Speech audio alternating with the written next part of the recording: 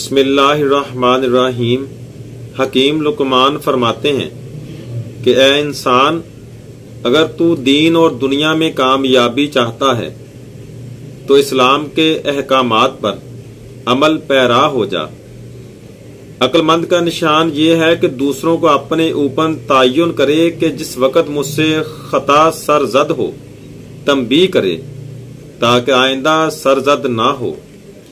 कुदरत की नेक हदायत की पूरी पाबंदी पर इंसान को जन्नत की मानद पाएगा।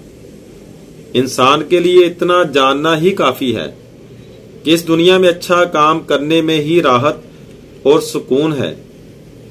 नेक दिल लोग गाय की मानद हैं, जो घास खाकर दूध देती है, और गुनागार सांप की मानद हैं, जो दूध पीकर भी डंक मारता है। कयामत के रोज ये ना पूछा जाएगा कि तुमने क्या कुछ पढ़ा है, बल्कि ये कि तुमने क्या कुछ किया है।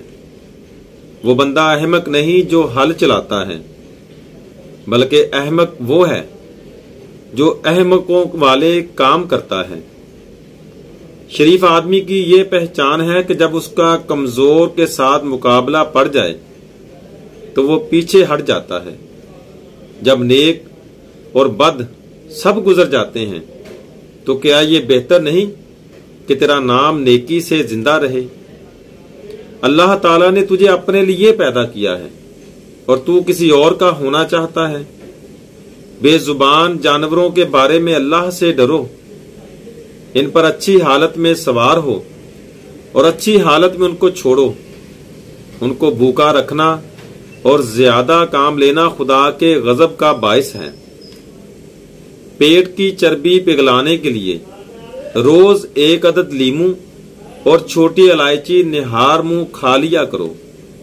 इंसान के लिए सारी उम्र एक चिल्ला की मानद है कि इंसान बाजारों में घूमे फिरे और लोगों से मिले दिल का तार न टूटने पाए।